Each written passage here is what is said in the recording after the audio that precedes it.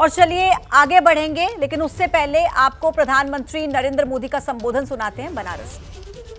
ग्राम Bihara post हटरा जिला वाराणसी, थाना मिर्जामला, block Shivapuri का मूल निवासी हूँ। सन 2005 में मैं पेड़ पर से गिर गया था, जिसके कारण मेरे बाएँ पैर के कुल्ले की हड्डी टूट गई थी। उसके लिए मैं बहुत परेशान देखिए विकसित भारत संकल्प यात्रा को लेकर यहाँ लाभार्थियों के साथ बातचीत प्रधानमंत्री नरेंद्र मोदी की और आप जिन्हें सुन रहे हैं वो लाभार्थी हैं प्रधानमंत्री नरेंद्र मोदी लाभार्थी की बात सुनते बजट नहीं था। फिर गाँव में मेरी आशा दीदी से मुलाकात हुई। उन्होंने मेरा आयुष्मान गोल्डन कार्ड बनवा दिया। उसी कार्ड के माध्यम से आज मेरे बनारस में बहुत बड़ा अस्पताल में इलाज हो सका मुफ़्त में। और मैं प्रधानमंत्री जी को कोटि कोटि नमन करता हूँ और मैं पूरे देशवासियों से अनुरोध करता हूँ कि जिनका आयुष्मान कार्ड न बना हो वो भी अपना आयुष्मान कार्ड बनवा ले तथा उसका लाभ उठाए। तो आपका ऑपरेशन कब हुआ? सितंबर में सर। अभी हुआ? हाँ। तो इतने सालों तक आप परेशान रहे? हाँ सर। सन 2005 में मेरी बचपना थी ना सर बाली उम्र तो फिर चलना फिरना हो सकता था? हाँ चलना फिरना चलते फिरते थे लेकिन बैठ नहीं पाते थे। पालथी मार के मुकरू मार के। हम्म। ऐसे चलता था। अभी ठीक हो गया? अभी नहीं अभी तो पूरा दवा चल रहा है ना अभी तो तीन ही महीना हुआ तीन महीना दस रोज। हाँ।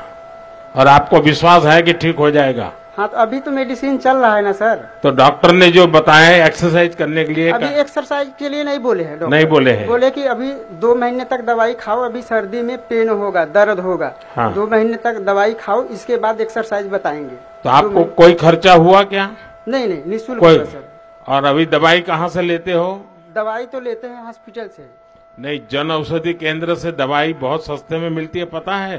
नहीं वहाँ से मैं नहीं लेता हूँ। हाँ तो जन औषधि केंद्र में सौ रुपये की दवाई बीस रुपये में मिल जाती है। सबको बताना चाहिए। तो गरीब का परिवार का अगर सौ रुपये की दवा लानी है तो अस्सी रुपया बच जाता है। ठीक है सर तो ये सबको समझाइए। आपके गाँव में आपने और लोगों के आयुष्मान कार्ड बनवाए क्या? हाँ सर। बनवा हूँ दस पंद्रह लोगों को बनवा हूँ और लोगों को बनवाने के लिए मैं बोल रहा हूँ कि जल्द से जल्द अपना बनवा ले ताकि उसका लाभ ज़रूरत पड़े पे उठा ले। और किसी को अभी मदद पहुँची हो ऐसा कोई और साथी जिसको जानते हो आप? नहीं नहीं अभी तो उसका लाभ उठाने वाला भी कोई नहीं है अच्छा। प्रेजेंट टाइम में। तो अभी अभी आयुष्मान कार्ड आपने ट्रीटमेंट करवाया। हाँ सर। तो डॉक्टरों का ऐसा तो नहीं था ना ये मोदी जी का आदमी है। चलो जाओ तो जल्दी जल्दी वैसे ही करके फेंक दो। ऐसा नहीं, तो नहीं। किया ना? नहीं नहीं सर। उन्होंने मुझे दो सितंबर को एडमिट किया। चार तारीख को मेरा अप्रूवल आया। हम्म, फिर उसके बाद रात में चार तारीख को ही कैंसिल हो गया अप्रूवल मेरा। उन्होंने रोक लिया।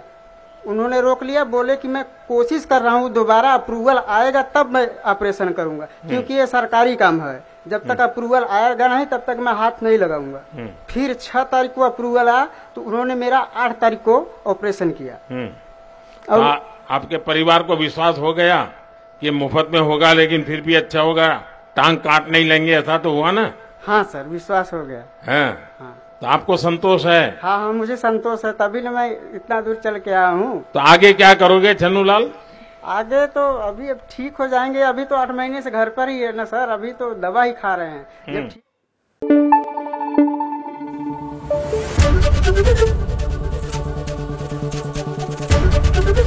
एबीपी न्यूज़ आपको रखे आगे।